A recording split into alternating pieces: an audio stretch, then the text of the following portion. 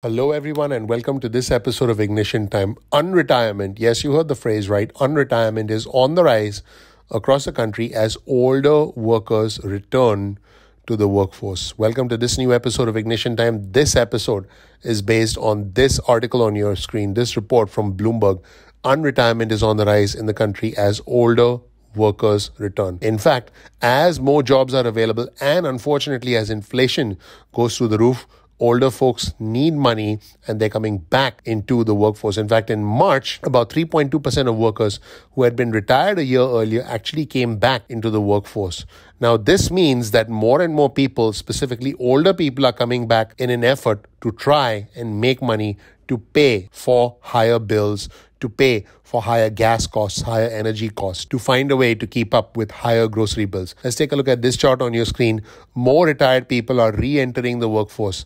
The line in pink represents the average for 2017 and 2019. Now, as you can imagine, when the pandemic hit, you can see that black line, which represents the percentage of retired workers returning to work after the pandemic hit, that percentage declined substantially. And by the way, that doesn't just apply to retired individuals, but that actually applied to the entire workforce. But now, individuals who had retired are coming back into the workforce because of the high cost of inflation. Now, there is a financial need to make more money, that is obvious, but there's also simply boredom, which is actually persuading a lot of Americans to say, hey, I'm going to work. During the pandemic, a lot of people were, were scared for their safety, specifically older folks, even, you know, much before the vaccine came along, they were concerned about their safety and they didn't want to work, even if they were getting paid.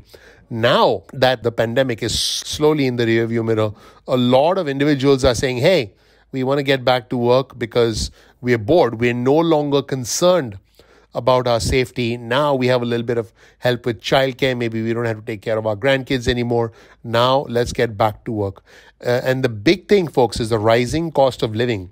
This is an incentive for many individuals to return to the workforce. And also, some retirees now realize hey, I can get back to work. I can potentially work from home without having to resume a daily commute. Now, what's interesting is that as more and more people come back into the workforce, the businesses that are standing by to hire these individuals, they're happy about it because businesses need individuals. And so at the end of the day, as far as the economy is concerned, people coming back into the workforce is a good thing. And I believe that at the end of the day, unretirement, as long as it's optional, as long as someone's not forced to end their retirement as long as someone can actually say, hey, I'm going to work because I choose to, not because I have to, is a good thing.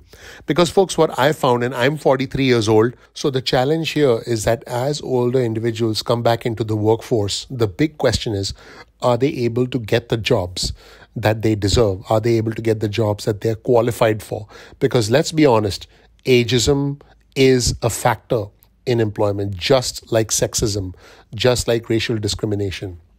The big question is are employers likely to say, hey, because someone's older, we are less likely to hire them? Or on the flip side, because someone's older, do they have more experience and therefore are they more, more likely to be hired than younger individuals? This poses a new range of questions as more and more older individuals come back into the workforce. In my opinion, there are two sides to this.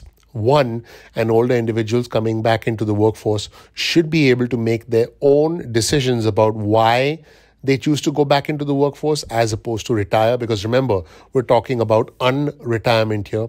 And more importantly, are they are they able to do a job that they're comfortable with? Because at the end of the day, when you're coming out of retirement, in most cases, you want to do a job that makes you comfortable. You're not necessarily looking for that high stress, the tension packed environment that you've probably had to deal with throughout your adult life.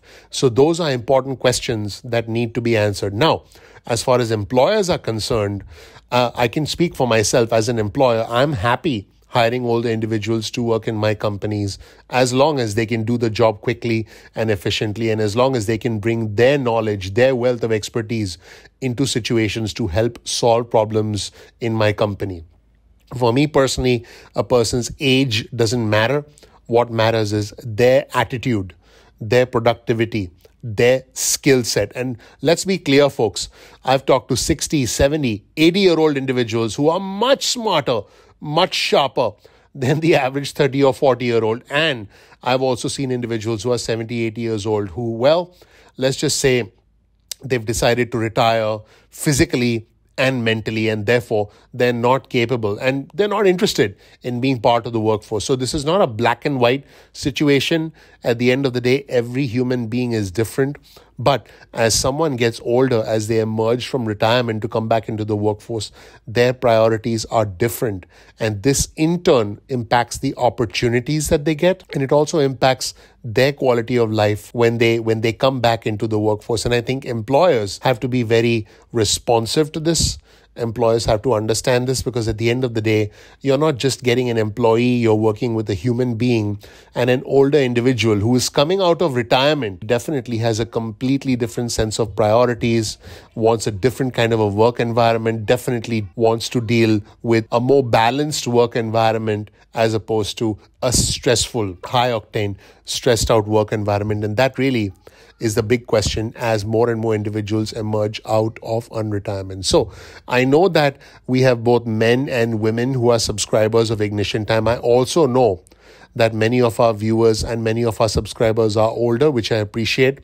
I want to know from you whether you've decided to come out of retirement to work in the post pandemic world. And if yes, are you happy with your new job? And also, while you're at it, tell me why you chose to come out of retirement? Was it because of financial reasons? Was it because of boredom? Because those two tend to be the common factors in this entire phenomenon of unretirement. And if you're not coming out of retirement to enter the workforce, I want you to answer the question Would you ever consider coming out of retirement to get back into the workforce? Or are you like, hey, I'm done. I've worked all my life. I'm going to, you know, I'm going to take it easy, which you're entitled to do. But the question is, would you consider unretirement in the future if the need came up, whether the need was financial, whether it was born out of social isolation or emotional things like, hey, I don't want to be alone or I'm bored.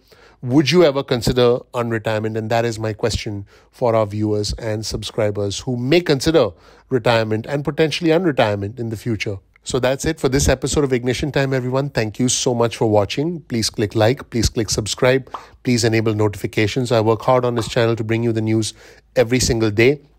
Please take a moment of your time to follow me on Twitter. My Twitter handle is ignition underscore time. That's ignition underscore time. Thank you so much for watching.